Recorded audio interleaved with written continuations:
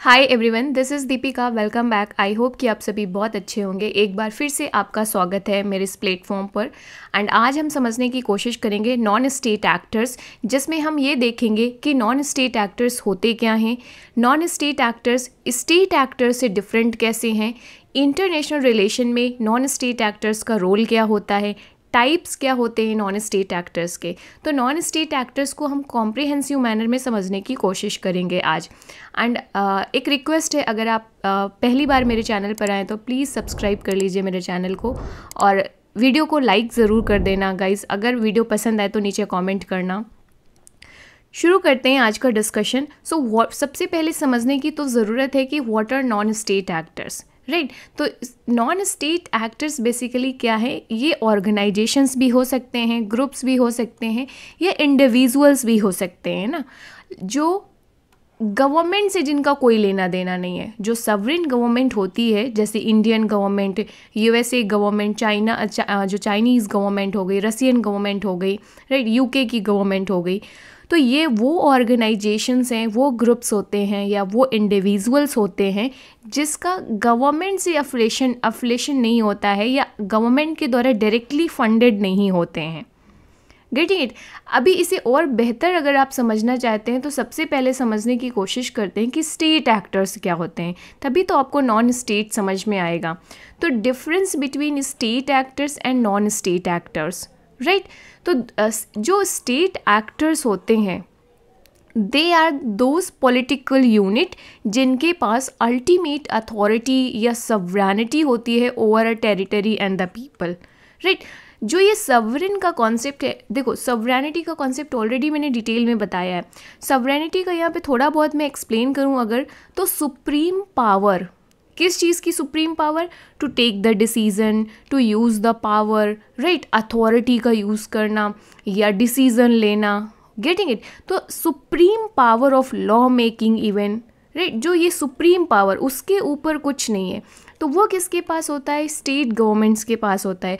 अब यहाँ पर स्टेट का मतलब ये मत समझ लेना कि उत्तर प्रदेश की गवर्नमेंट या बिहार गवर्नमेंट। इस, हम इंटरनेशनल सिस्टम में, इंटरनेशनल रिलेशन में स्टेट का टर्म, जो स्टेट टर्म यूज़ किया जाता है, वो कंट्री को रिप्रेजेंट करने के लिए किया जाता है। गेटिंग जो नेशन स्टेट होते हैं, कंट्रीज़ होती हैं। तो इंटरनेशनल रिलेशन में दो तरह सबसे जो मेजर यूनिट होती है, वो होती है स्टेट। दूसरे होते हैं नॉन स्टेट स्टेट क्या है? पॉलिटिकल यूनिट है, जिसका, जिसके पास अल्टीमेट अथॉरिटी होती है या सुप्रीम पावर होती है डिसीज़न लेने की। जबकि जो नॉन स्टेट एक्टर्स होते हैं, ये नॉन सवरिन एंटिटी होते हैं। मतलब इनके पास सुप्रीम पावर नहीं होती है over that territory for example जैसे मान लीजिए ये इंडिया है तो इंडिया की टेरिटरी और इंडियन पीपल्स के ऊपर सुप्रीम पावर जिसे हम सवरानिटी कहते हैं, वो किसकी है? भारत सरकार की है। इंडियन गवर्नमेंट की है। तो इंडियन गवर्नमेंट क्या है? स्टेट एक्टर्स हो गया। गेटिंग इट जबकि जैसे नॉन स्टेट एक्टर्स ये नॉन सवरन एंटिटीज़ होते हैं, बहुत सारे रिलीजियस ग्रुप्स होते हैं राइट बहुत सारे एन होते हैं फॉर एग्ज़ाम्पल राइट बहुत सारे फाउंडेशंस होते हैं गेटिंग इट तो ये सारे जो एन हो गए सिविल सोसाइटीज़ हो गई, कई सारे ग्रुप्स हो गए जो हेल्प करते हैं सोसाइटी में लोगों की गेटिंग इट तो ये सारे क्या है? नॉन स्टेट एक्टर्स है। इनके पास सुप्रीम पावर नहीं होती है। डिसीजंस लेने की। और ये सवरिन गवर्नमेंट के जो अफलेटेड नहीं होते हैं सवरिन गवर्नमेंट से, के कंट्रोल में नहीं होते हैं, कि मतलब वो अपना टास्क अपनी एक्टिविटीज़ कर रहे होते हैं। तो ultimate authority in the decision making procedure right currency issue करना टैक्स लगाना पब्लिक फंड को कैसे स्पेंड करना है राइट right? ये सारी चीज़ें कौन करता है? स्टेट एक्टर्स करते हैं, जैसे इंडियन गवर्नमेंट ये सारे फ़ंक्शंस ये सारे अथॉरिटीज़ किसके नॉन स्टेट एक्टर्स के पास नहीं होते हैं। Right right. तो नॉन स्टेट एक्टर्स क्या हुए ये ऑर्गेनाइज इन्फ्लुएंशियल ऑर्गेनाइजेशंस तो होते हैं, या वेल्दी इंडिविजुअल्स हो गए राइट right? जैसे अम्मा फॉर एग्जांपल अंबानी को ले ले लीजिए, या टाटा फैमिली को ले लीजिए इनके बहुत सारे फाउंडेशंस होते हैं ग्रुप्स होते हैं, जो चैरिटी इंस्टीट्यूशंस होते हैं इनके राइट right? तो ये इन्फ्लुएंस कर सकते हैं स्टेट एक्टर्स को राइट? लेकिन डायरेक्ट कंट्रोल में नहीं है गेटिंग इट तो अभी बेसिक डिफरेंस दोनों को समझ में आ गया आपको कि स्टेट एक्टर्स क्या है नॉन स्टेट एक्टर्स क्या है। थोड़ा बहुत टाइप्स देखने की कोशिश करेंगे तो क्लैरिटी और भी ज़्यादा आ जाएगी। राइट तो कुछ कॉमन और हम इन्फ्लुएंशियल टाइप को करने की कोशिश करें। तो हम यहाँ पर समझेंगे, जैसे पहला होता है लार्ज जो नेशनल एंड मल्टी नेशनल होते हैं। Right right? जैसे कि for example Coca Cola company या मैकडोनाल्ड हो गया आपका General Motors Adidas Samsung Nestle ना? तो ये सारे क्या है? एम हैं मल्टी नेशनल कॉरपोरेशंस हैं गेटिंग ये नेशनल भी हो सकती हैं मल्टी मल्टी नेशनल्स भी हो सकती हैं। तो ये कारपोरेशंस भी नॉन स्टेट एक्टर्स के रूप में काम करते हैं। फॉर एग्ज़ाम्पल सैमसंग का अगर हम ले लें तो अगर मान लीजिए सैमसंग कोई डिसीज़न लेती है कि वो एक प्रोजेक्ट लगाएगी प्रोडक्शन का अपना राइट तो अब इस, जब प्रोडक्शन लगाएगी तो वहाँ के लोगों को रोज़गार मिलेगा एम्प्लॉयमेंट मिलेगा, वहाँ पर इन्वेस्टमेंट करेगी तो वहाँ का इंफ्रास्ट्रक्चर बढ़ेगा। तो किसी भी स्टेट के लिए ये बहुत ही इंपॉर्टेंट हो सकता है राइट तो इंडियन गवर्नमेंट चाहेगी कि हमारे यहाँ पर आ जाए, ये प्लांट प्रोजेक्ट लगना, हमारे यहाँ पर इन्वेस्टमेंट हो, ताकि इंडियंस को जॉब्स मिले राइट और टेक्नोलॉजी मिले। जबकि फॉर एग्ज़ाम्पल बांग्लादेश चाहेगा कि मेरे यहाँ पर आ जाए। गेटिंग इट तो इन्फ्लुएंस uh, करते हैं जो हमारे नॉन स्टेट एक्टर्स होते हैं। अब इस नॉन स्टेट एक्टर्स जो सैमसंग कंपनी है ये एक मल्टीनेशनल कॉरपोरेशन है एक नॉन स्टेट एक्टर है तो इसको जहाँ पर फ़ायदा मिलेगा जो गवर्नमेंट ज़्यादा टैक्स इंसेंटिव्स देगी ज़्यादा सपोर्ट देगी वहीं सब तो ये जाएँगे वहीं पर तो अपना प्रोजेक्ट लगाएँगे। तो जो हमारे नॉन स्टेट एक्टर्स होते हैं, ये इन्फ्लुएंस करते हैं किसको? स्टेट एक्टर्स को, जो गवर्नमेंट्स होती हैं उनको। जैसे कि अभी हमने सैमसंग वाले एग्जांपल से समझा। तो एक टाइप तो ये हो गया। दूसरा होता है इंडिविजुअल जो इंडिविजुअल बिज़नेस होते हैं बिज़नेस मैन होंगे फॉर एग्ज़ाम्पल जैसे बिल गेट्स एलन मस्क इनके अपने चैरिटी ऑर्गेनाइजेशंस होते हैं, जिन्हें हम एन कहते हैं सिविल सोसाइटीज़ कहते हैं फाउंडेशंस कहते हैं। तो ये क्या करते हैं? ये अपना कंट्रीब्यूशन देते हैं सोश जो हमारी सोसाइटी होती है वहाँ पे। फॉर एग्ज़ाम्पल हम बिल गेट्स का देख लें तो फॉर एग्ज़ाम्पल एजुकेशन में जो पुअर पीपल्स हैं, उनको एजुकेशंस देने में, या या फीमेल एजुकेशंस हो गए राइट या फीमेल एम्प्लॉयमेंट्स हो गए, ये सारा देना। तो ये क्या है? ये हो गया आपके इंडिविजुअल बिज़नेस टाइप का। नेक्स्ट टाइप देखें तो इंटरनेशनल मीडिया जो कॉन्ग्लोमेरेट होते हैं सो जो मीडिया एजेंसीज़ होती हैं फॉर एग्ज़ाम्पल उनके अपने ग्रुप्स हो जाते हैं। तो ऐसे तो कोई भी बना सकता है ना। अब ग्रुप ऑर्गेनाइजेशन जिसने बना लिया, वो नॉन स्टेट एक्टर हो गया। राइट इसके बाद से बहुत सारे एन हैं। राइट जैसे ग्रीन पीस हो गया रेड क्रॉस सोसाइटी हो गया एमएनएसटी इंटरनेशनल हो गई, जो ह्यूमन राइट्स के लिए काम करती है। एक हो गया आपका ह्यूमन राइट वॉच हो गया वर्ल्ड वाइल्ड लाइफ फंड हो गया आपका। राइट तो इस तरीके के ये हो गए नॉन गवर्नमेंटल ऑर्गेनाइजेशंस आगे अगर बात करें कुछ टाइप्स की तो गुडविल एम्बेसडर्स या ह्यूमैनिटेरियन एड वर्कर्स होते हैं, जैसे कि care and doctor without borders ये क्या है? कुछ आपके गुडविल एम्बेसडर्स या कह सकते हो ह्यूमैनिटेरियन एड वर्कर्स होते हैं, जो नॉन स्टेट एक्टर्स की कैटेगरी में आते हैं। इसके बाद कुछ रिलीजियस ग्रुप्स होते हैं राइट right? जो इंगेज होते हैं political affair of the international relations पे। राइट कुछ इंस्टीट्यूट जैसे क्वैकर्स हो गया राइट या बहुत सारे ऐसे, जैसे तालिबान फॉर एग्जांपल हो गया। टेररिस्ट ग्रुप तो है but still a religious group right जो एक इस्लामिक कंट्रीज़ को रिप्रेजेंट कर जो इस्लाम को रिप्रेजेंट करने की बात करते हैं। तो कई बार ये रिलीजियस ग्रुप अपने रिलीजियस बिलीफ को स्प्रेड करते हैं अक्रॉस दी ग्लोब कई बार ये वॉलेंट एक्टिविटीज़ भी परफॉर्म करते हैं, जैसे टेररिस्ट एक्टिविटीज़ गेटिंग इट तो ये कुछ रिलीजियस ग्रुप हैं, ये भी नॉन स्टेट एक्टर्स पे आएँगे। इसके बाद ट्रांसनेशनल डायस्पोरा जो कम्युनिटीज़ होती हैं, वो भी नॉन स्टेट एक्टर्स पे आते हैं। डायस्पोरा फॉर एग्ज़ाम्पल जैसे हमारे एन हो गए, जो, जैसे इंडियन कुछ इंडियन पीपल्स यूएसए पे रह रहे हैं तो वो वहाँ पर एक कम्युनिटी बना लेते हैं।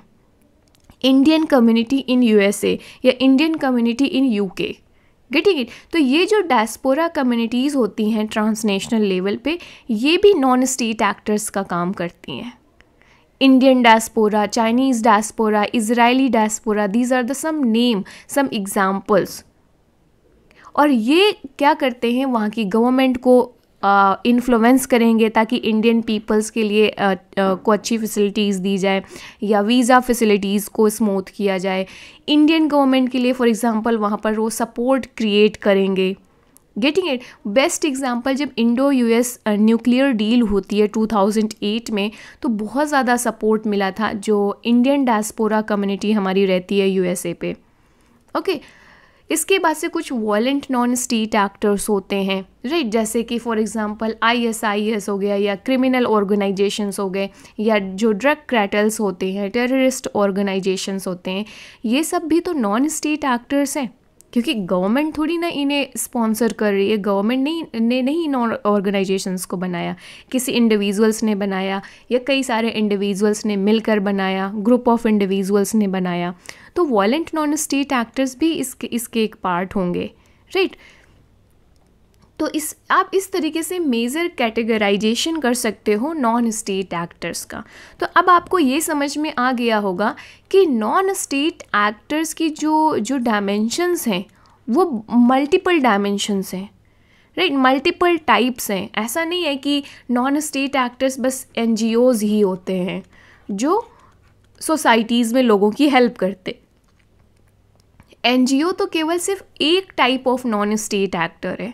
यहाँ पे हमने कितने सारे multiple types of non state actors देखे हैं।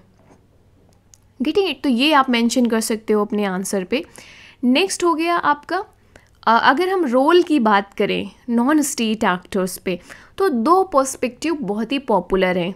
सो so, अगर हम ये दो मेजर नैरेटिव या पर्सपेक्टिव की बात करें जो role of non state actors को डिफाइन करता है तो पहले वो हैं ऑप्टिमिस्ट राइट ऑप्टिमिस्ट और दूसरे हैं realist these are the two narratives या टू पर्सपेक्टिव्स राइट जो रियलिस्ट हैं राइट right, जो रियलिस्ट हैं वो कहते हैं कि जो जो आपके नॉन स्टेट एक्टर्स हैं गेटिंग इट ये नहीं होने चाहिए. For example according to this realist जो रियलिस्ट आपने रियलिस्ट अप्रोच पढ़ा होगा इंटरनेशनल रिलेशन में राइट right? तो रियलिस्ट कहते हैं कि जो इंटरनेशनल सिस्टम है, उसमें जो मेजर एक्टर्स होते हैं वो कौन होते हैं? स्टेट होते हैं.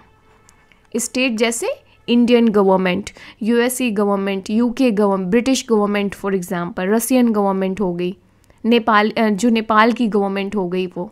राइट? तो इस तरीके से रियलिस्ट का मानना होता है कि जो इंटरनेशनल सिस्टम में मेजर एक्टर्स होते हैं, वो होता है स्टेट स्टेट के बीच में ही इंटरेक्शंस होता है निगोसिएशंस होता है डिसीज़न मेकिंग प्रोसेस होती है. गेटिंग इट जबकि जो ऑप्टिमिस्ट हैं, ये कहते हैं कि जो स्टेट सेंट्रिक अप्रोच है, अभी ये गुड नहीं है इंटरनेशनल रिलेशन के लिए. Right right? क्यों? क्योंकि इस तरीके से अथॉरिटेरियन टेंडेंसीज डेवलप हो जाती है। कॉन्सेंट्रेशन ऑफ़ पावर हो जाता है किसके पास? स्टेट्स के पास में। तो जो ऑप्टिमिस्ट हैं, जो सपोर्टर्स ऑफ़ द ग्लोबलाइजेशन हैं, वो कहते हैं कि जो प्रेजेंट मॉडर्न सोसाइटीज़ हैं, जो मतलब नाइनटीन सिक्सटीज़ एंड सेवेंटीज़ के बाद में बात करते हैं, ये कहते हैं कि जो जो सोसाइटी है, वो कॉम्प्लेक्स है इंटर कनेक्टेड है इंटरडिपेंडेंट है। Right right? तो हम सिर्फ़ स्टेट को ही मेजर एक्टर्स नहीं कंसीडर कर सकते। हमें नॉन स्टेट एक्टर्स के रोल को भी कंसीडर करना होगा, जो ये ऑप्टिमिस्ट हैं या सपोर्टर्स ऑफ़ द ग्लोबलाइजेशन है। ये कहते हैं कि जो नॉन स्टेट एक्टर्स हैं, ये नेटवर्क्स बनाने में बहुत हेल्प करते हैं अक्रॉस द बॉर्डर्स और जब अक्रॉस द बॉर्डर्स आप नेटवर्क्स बिल्ड कर सकते हो तो आप अपने बिज़नेस को बढ़ा सकते हो। ग्लोबल सप्लाई चेन से कनेक्ट हो सकते हो।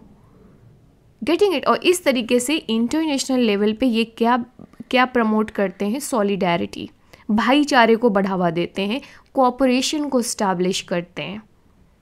और जो सिविल सोसाइटी का इमरजेंस है जो जो एन का इमरजेंस है जो नॉन स्टेट एक्टर्स का इमरजेंस है ये अथॉरिटेरियन टेंडेंसीज़ को चैलेंज करते हैं।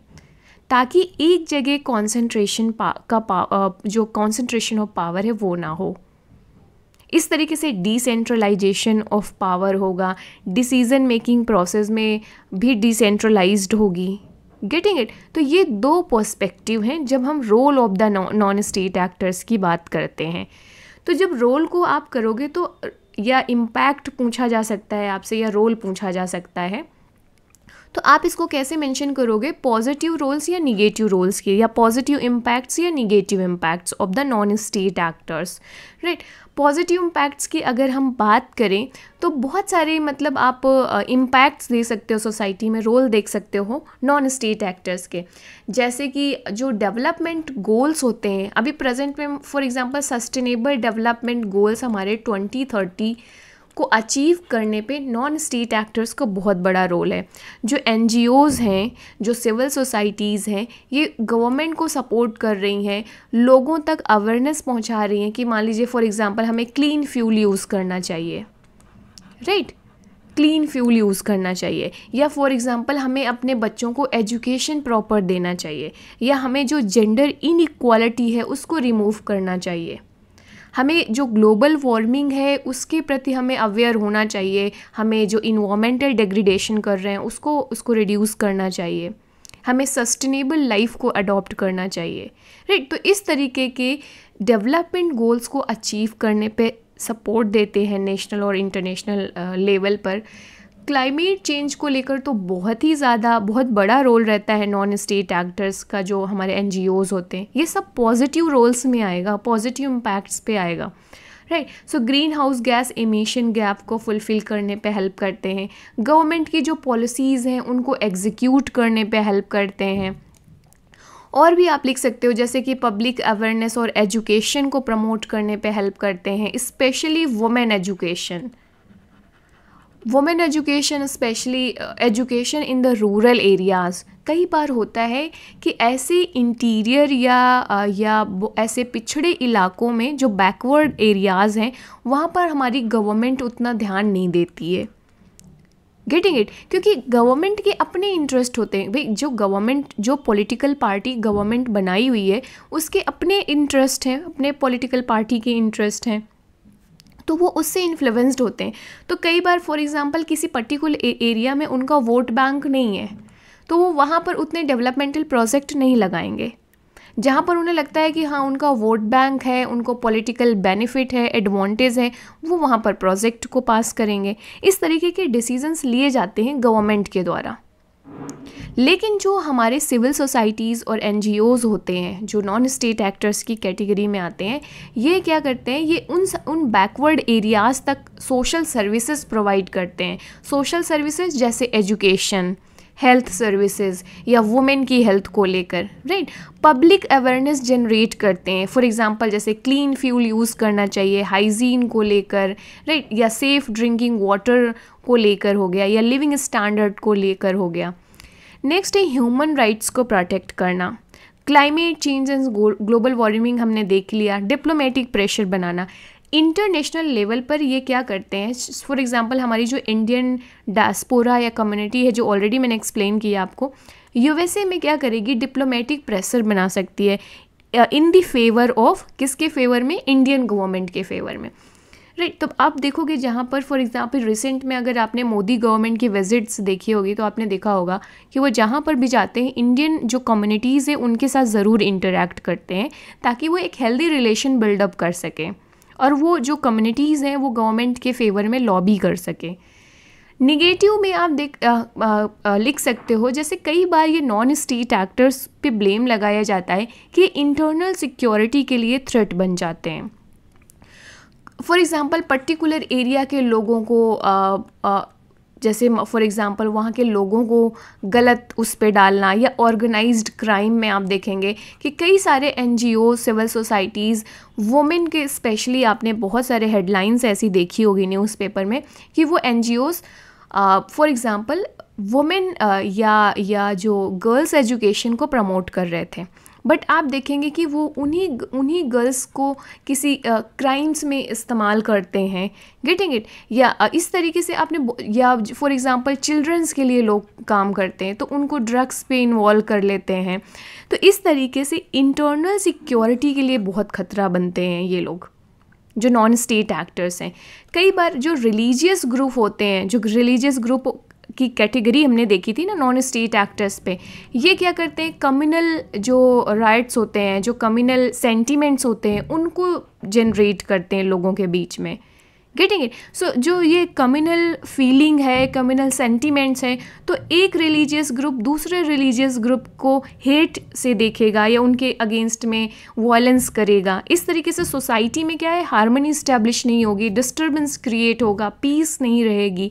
ये सारे निगेटिव इम्पैक्ट्स लिख सकते हो। और भी बहुत सारी चीज़ें लिख सकते हो कि बहुत सारे नॉन स्टेट एक्टर्स करप्शंस पे भी इन्वॉल्व होते हैं। या या गवर्नमेंट के साथ अफलेटेड हो जाते हैं उनके साथ एक नेक्सस बना लेते हैं और फिर मिलकर एक ऑर्गेनाइज्ड क्राइम जैसा सिचुएशन क्रिएट करते हैं। या जैसे और ऊपर से आप लिख सकते हो टेररिस्ट ऑर्गेनाइजेशंस जो होते हैं राइट तो वो सिक्योरिटी नेशनल सिक्योरिटी के लिए ख़तरा बन जाता है। राइट right, इसके साथ जैसे फॉर एग्जांपल नक्सलिज्म आपने सुना होगा एक्सट्रीमिज़म सुना होगा आपने ये सारे क्या हैं? निगेटिव इम्पैक्ट्स हैं। ये आपके निगेटिव रोल हो जाते हैं जो सोसाइटी में डिस्टर्बेंस क्रिएट कर रहे हैं डिसहार्मनी क्रिएट कर रहे हैं पीस को डिस्टर्ब कर रहे हैं। गेटिंग इट तो ये सारे आप निगेटिव रोल में लिख सकते हो। तो आई होप कि आपको नॉन स्टेट एक्टर्स का थोड़ा बहुत बेसिक आइडिया लग गया होगा यहाँ से और ये कंटेंट आप इस्तेमाल कर सकते हो आंसर में लिखने को।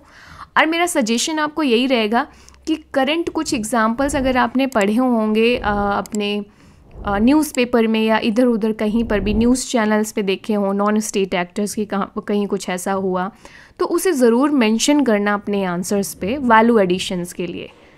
So this is all for today guys I hope कि नॉन स्टेट एक्टर्स का कॉन्सेप्ट आज आपको समझ में आया होगा।